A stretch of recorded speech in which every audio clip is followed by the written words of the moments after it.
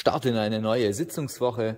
Mit äh, meinem Team habe ich mich besprochen, was für Termine anstehen und was alles zu erledigen ist. Ich habe mich dann mit einem Verband getroffen, um über die geplante Ausweitung der Lkw-Maut zu sprechen.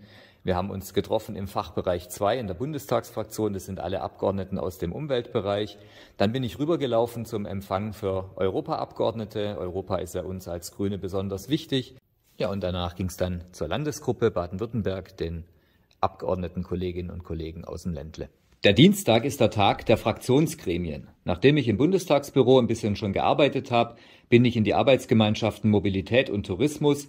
Dort haben wir Fachinformationen ausgetauscht und debattiert. Dann bin ich in die Fraktionssitzung gelaufen.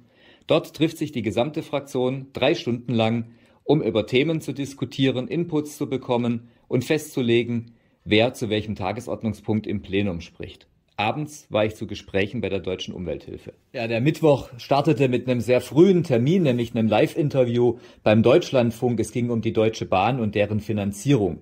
Ich war dann als Vertretung im Landwirtschaftsausschuss und als ordentliches Mitglied im Verkehrsausschuss. Dort habe ich gesprochen zur Digitalisierung der Bahn und zum Deutschlandtakt. Mittags war ich bei einem Fachgespräch zum Güterverkehr und dann habe ich zwischen Terminen ja, einen traurigen Termin gehabt, nämlich einen zerschossenen ukrainischen Rettungswagen mir angeschaut, um mir einen Eindruck über den Krieg in der Ukraine zu verschaffen.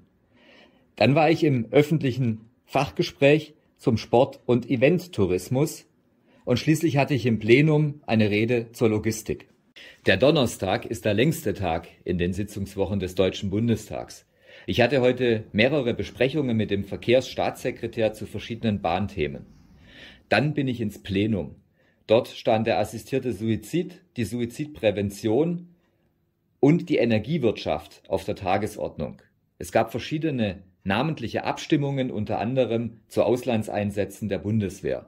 Am Abend war ich auf der Stallwächterparty des Landes mit vielen wichtigen Gesprächen. Der heutige Freitag begann mit einer Sonderfraktionssitzung, in der wir die aktuelle politische Lage diskutiert und einen Ausblick auf die kommenden Wochen bekommen haben. Im Plenum ging es heute stark um Energiepolitik, LNG und das Wärmegesetz. Wir hatten eine namentliche Abstimmung und einen Hammelsprung, mit dem Mehrheitsverhältnisse im Parlament geklärt wurden. Mit Ländern haben wir heute über Tourismus gesprochen und vor allem die nationale Tourismusstrategie diskutiert.